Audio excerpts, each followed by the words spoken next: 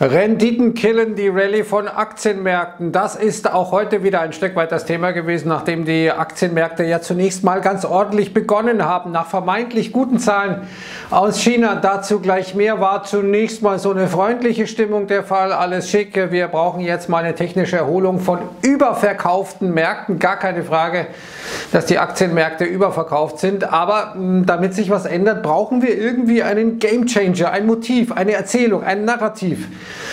damit es ähm, diese technische Erholung äh, gibt. Bisher ist das ausgeblieben. Wir haben morgen die BIP-Revision. Da könnte etwas drin sein für die Bullen, dass also das Wirtschaftswachstum aus dem zweiten Quartal dann nochmal deutlich nach unten revidiert wird. Wird das reichen? Hm, Habe ich meine Zweifel. Am ähm, Donnerstagabend, morgen Abend haben wir dann Jerome Powell. Allerdings spricht der vor Lehrern. Da stellen diese Lehrer Fragen, ob der da überhaupt zur Geldpolitik sich äußern wird, äh, ist äh, fraglich. Ja, und am Freitag haben wir dann die PCE-Verbraucherpreise aber die sind auch aus dem August, also auch ein bisschen Schnee von gestern und normalerweise gibt es da nicht so wahnsinnige Überraschungen. Also irgendwo muss dieses muss dieser Gamechanger, dieser Spieländerer herkommen, sonst wird es schwierig, sonst haben wir weiter einen Anstieg der Renditen und die Bären, die lange doch sehr stark darben mussten. Die setzen ein bisschen Fleisch an.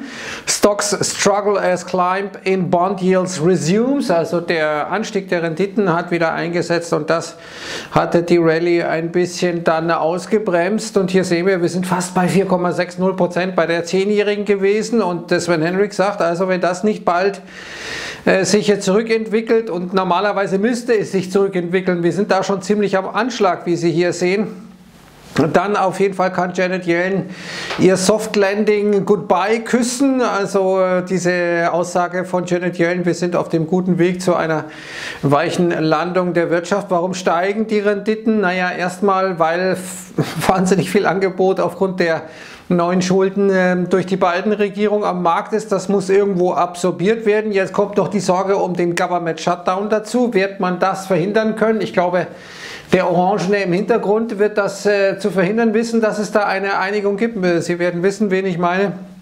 Jedenfalls äh, sagte Goldman also ja, 90% Wahrscheinlichkeit, dass es einen Government Shutdown gibt. Und das große Problem ist eben dieses Government Shutdowns. Es kostet Wachstum auf der einen Seite, je länger er dauert, umso mehr.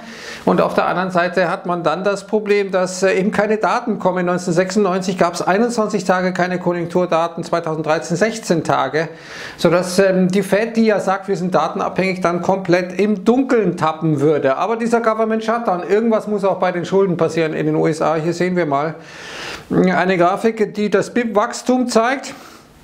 Und das äh, vergleicht äh, hier blau mit äh, der Gesamtverschuldung. Also die Schulden steigen viel, viel schneller als die Wirtschaft wächst und das ist letztendlich nicht tragbar. Zweites Motiv, ähm, nochmal zurück zu den Renditen. Also letztendlich die Märkte machen sich so ein bisschen Sorgen auch um die naja, Bonität der USA, das kann so nicht weitergehen, diese Schuldenorgie. Aber ein weiterer Anstieg, ein Grund für den Anstieg der Renditen ist eben Öl. Neues Hoch jetzt in diesem Jahr. Wir wären jetzt äh, auf dem höchsten Stand seit August des Vorjahres. Also da kommt natürlich wieder Inflationsdruck und das, obwohl der Dollar stark ist und die Renditen steigen. Also das ist echte Stärke, wie ein Kollege von mir hier getitelt hat. Also da muss etwas passieren. Die OPEC will einen höheren Ölpreis. Das setzt dann die Notenbanken unter Druck. Das macht Zinssenkungen extrem schwierig. Jetzt kommt der starke Dollar noch dazu. Auch der ziemlich auf Anschlag. Euro-Dollar heute schon bei 1,05 gewesen.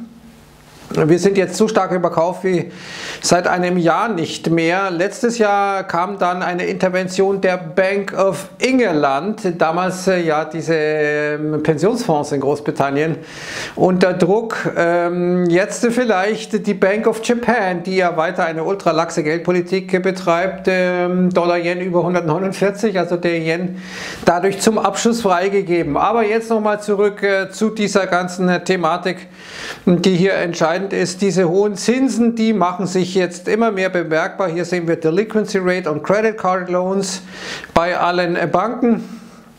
Das ist jetzt höher als äh, auf dem Hochpunkt der Finanzkrise. Jedes Mal, wenn wir äh, einen steigenden Zinszyklus haben, dann kommt eine Krise. Irgendwas passiert dann immer, da fliegen welche aus der Kurve, macht Sinn, wenn du Nullzinsen hast, so wie wir es jetzt hatten. Und das ist das Schlimme jetzt an der Situation, dann haben Leute Kapital in der Vergangenheit fehlallokiert. Diese Fehlentscheidungen, diese Fehlallokationen, die fliegen Ihnen jetzt um die Ohren, früher oder später. Und hier sehen wir das zum Beispiel Leveraged Loans, das sind also Kredite, die an Firmen oder auch an Privatkunden vergeben haben, die schon sehr viel Schulden haben, die also vollgestopft sind mit Schulden. Das sind Leverage Loans. Jetzt hat Moody's sich, äh, Fitch sich geäußert und gesagt, okay, hier hm, könnte eine ziemliche Welle von Ausfällen sein, 270 äh, Milliarden Dollar. Äh, die sind besonders gefährdet in dieser Richtung und hier sehen wir mal diese Credit Card Defaults.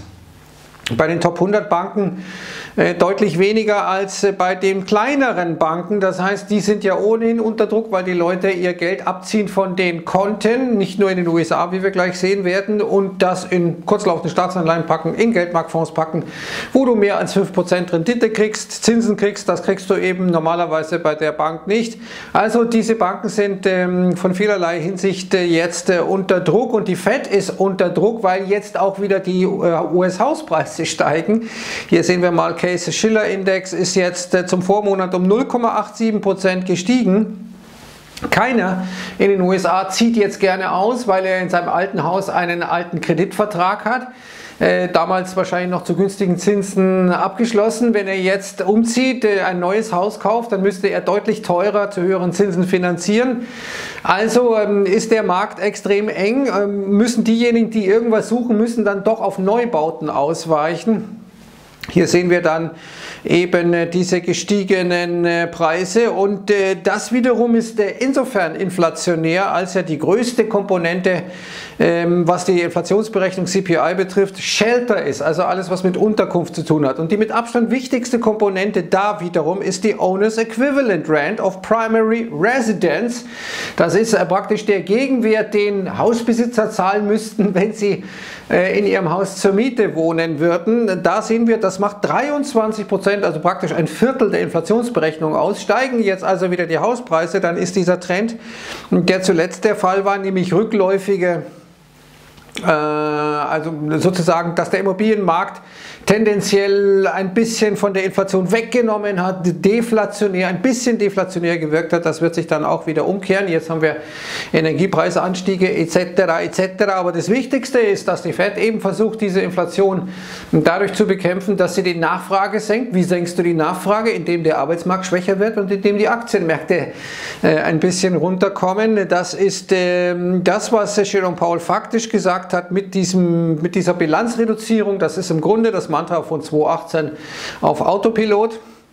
Und äh, ja, das tut die FED auch. Wir werden äh, jetzt wieder neue Daten. Morgen ist es, äh, glaube ich, bekommen zur Bilanzsumme der FED. In der letzten Woche über 70 Milliarden Dollar gesunken, so stark wie seit gute zwei Jahren nicht mehr. Und Holger Cepic sagt, ja, it's liquidity, stupid. Äh, schaut euch mal an. Das scheint für die Märkte wichtiger zu sein eigentlich als die Frage, wie oft steigen die Zinsen noch, wie hoch steigen die Zinsen, wie lange bleiben sie hoch. Das dürfte sicherlich auch ein wichtiger Faktor sein. Aber hier sehen wir, dass eigentlich Bilanzsumme und Fed äh, die Bilanzsumme der FED und der S&P 500 ziemlich kongruent laufen. Und jetzt haben wir ja die Situation, dass vor allem die Aktienmärkte nicht kongruent laufen. Würden wir jetzt mal äh, die ganz großen Tech-Aktien abziehen, dann wäre der S&P 500 nicht mehr im Plus in diesem Jahr. Dadurch, dass aber die großen Tech-Aktien das Ding getrieben haben, sind wir nach wie vor 12% im Plus. Die Überlegung der Investoren ist, naja, die großen Tech-Werte, die haben viel Cash, die sind also dadurch weniger betroffen vom Anstieg der Zinsen, richtig, aber sie sind äh, betroffen vom, äh, von der Abkühlung der Konjunktur, von der Schwäche des Konsumenten. Irgendwer muss die iPhones kaufen, irgendwer muss Werbung schalten ähm, bei Google. Ähm, wenn die Unternehmen äh, schlechtere Absätze haben, dann werden Werbebudgets gekürzt und so weiter und so fort. Also das ist eben vielleicht der große Irrtum der Tech-Investoren, dass sie glauben, die großen Tech-Werte wären da irgendwie immun. Jetzt äh, sehen wir mal, äh, der S&P 500 ja so um und bei 12% im Plus, während die sieben größten Aktien im S&P 500, allesamt Tech-Aktien, 81% im Plus sind, angetrieben durch die wunderbare Nvidia-Aktie. Was passiert jetzt, wenn diese sieben Aktien ein Problem bekommen? Dann haben die Aktienmärkte ein Problem. Hier sehen wir, wie krass dieser Unterschied ist in dieser Grafik zwischen den großen Tech-Werten und dem Rest. Äh, dieser Markt ist natürlich sehr überverkauft, äh, gemessen am RSI, relative Stärke-Index. Wir haben jetzt noch den 200-Tages-Durchschnitt bei 4200 Punkten. Das wäre dann äh, vielleicht so die letzte Auffangmarke für den Bullenmarkt, in Anführungszeichen, seit Oktober. Ich glaube, es ist ein kaschierter Bärenmarkt, wenn man sich den Gesamtmarkt betrachtet. Es ist sozusagen die Schminke, äh, die hier auf den Lippen ist durch die großen Tech-Aktien, die kaschiert, äh, dass, die ganze, äh, dass alles unter der Oberfläche nicht so richtig hübsch ist. Und hier natürlich viel Hoffnung jetzt von den Bullen. Seht ihr, wir haben den Washout schon gesehen. 85% der Nasdaq 100 Aktien sind unter ihrem 50-Tages-Durchschnitt. Damit sind wir äh, tiefer als bei jeder Korrektur diesen Jahres. Äh, jetzt haben wir genau dieselbe Standardabweichung wie äh, beim 2022er Tief positive Divergenz im MACD und so weiter und so fort. Kann alles sein, aber du brauchst irgendwie einen Grund. Du musst ein Motiv haben, ein Narrativ haben, damit sich diese technische Überverkauftheit sich dann in Kaufwille auch ausdrücken kann. Und wir haben einen No-Rules-Market, wie Goldman Sachs sagt. Flows Trump Fundamentals amid Record Negative Gamma, also die Market Maker, die sind schochte bis zur Oberkante, weil die sich absichern müssen, die, die bringen Optionen an den Mann, wetten gegen äh, den äh, Käufer dieser Option, ob es Puts oder Calls sind oder was auch immer. Also wird sich abgesichert. Und das kann eben dazu führen, dass wir sich äh, Bewegungen sehen, die komplett irrational in die eine Richtung laufen. Wir können also noch deutlich tiefer fallen, aufgrund schon von Mechanik. Und auf der anderen Seite, wenn irgendwie ein Narrativ kommt, äh, was bullish wäre, äh, können wir einen gewaltigen Short Squeeze sehen. Und man reicht jetzt Hoffnungsparameter natürlich ähm, hier über den Dresden. Die letzten vier September waren alle negativ und im vierten Quartal ging es dann immer wieder nach oben. Wie gesagt, auch das ist Tenor bei CNBC, aber dazu muss ein Gamechanger her, vor allem durch die Fed. Und wenn die Fed nicht umkippt, dann sehe ich das nicht, denn das heißt weiter Liquiditätsverknappung und ähm, wenn Liquidität äh, nicht allzu äh, üppig mehr fließt, sondern Liquidität abfließt, äh, dann sehen wir die nackte Baden, denn das äh, hatte ich schon öfter betont. Ich will noch mal kurz äh, mich äußern weil es da Fragen gab, warum ich sage, dass die chinesischen Zahlen heute Nacht falsch sind oder gelogen sind, eine Lüge sind. China lügt mit Zahlen. Das hat ja zunächst mal das Sentiment äh, auch äh, angetrieben. Hier sehen wir mal im Juli letzten Jahres, äh, Im Juli, im Vormonat, äh, war die äh, ganze Geschichte noch negativ. So knapp 10% sind die Industrieprofite, um die es hier geht, gefallen. Jetzt plötzlich im August sollen die um 17% gestiegen sein. Wir sind also von minus 10% zum Vorjahresmonat auf plus 17, irgendwas Prozent zum Vorjahresmonat gestiegen. Ein Anstieg von 27%. Ein Wunder der Profitabilität. Jetzt gucken wir uns mal oben die Erzeugerpreise an. Das sind also die Preise in China ab Fabrik. Das sind die Preise, die also die Unternehmen verlangen können. Hier sehen wir, die Preise sind zum Vorjahresmonat um 3% gefallen. Mit anderen Worten, die Profite der chinesischen Unternehmen sind um 25% gestiegen, aber die Preise, die sie, ähm, äh, die sie nehmen konnten, die sind ähm, um 3% gefallen. Das ist ein Wunder das nicht funktioniert. Ich glaube, da wurde bewusst ein bisschen geschönt, damit man das Narrativ verbreiten kann. Seht ihr, wir haben die Talsohle durchschritten, aber es ist Bullshit, das kann nicht funktionieren und auch auf Dauer nicht funktionieren, wird das, was jetzt auch in Europa passiert. Wir alle sprechen von den Geldabzügen in den USA von Bankkonten. Das gleiche passiert jetzt in Europa. Jetzt bieten andere wieder plötzlich mehr Zinsen die großen Banken müssen da mitgehen. Bei Geschäftskunden passiert das. Ein äh, guter Freund von mir arbeitet bei einer sehr, sehr großen systemrelevanten Bank und der sagt, wir haben seit einigen Wochen eine Taskforce, die genau die Kontobewegungen äh, sich anguckt und guckt, ob da Gelder abfließen und dann schnell die Alarmglocke läutet. Denn ja, da gibt es jetzt äh, plötzlich äh, Angebote, die sind äh, sehr, sehr attraktiv. Also jetzt kommt das Problem auch zu den europäischen Banken, die natürlich nach wie vor durch diese, ähm, diesen Unterschied sehr viel Geld verdienen, dass sie selber Geld hochverzinst anlegen konnten, aber den Sparern sozusagen nichts gegeben, haben. Gleichwohl sehen wir, dass die Geldmenge 1,3 Prozent zum Vorjahresmonat gefallen ist. Es geht also weiter bergab mit der Geldmenge, dementsprechend auch die Kreditvergabe sehr mau. Das gilt auch und besonders für Deutschland. Und jetzt haben wir natürlich äh, den guten Marcello Fraccia, der sagt, warum geht es der Industrie wirklich?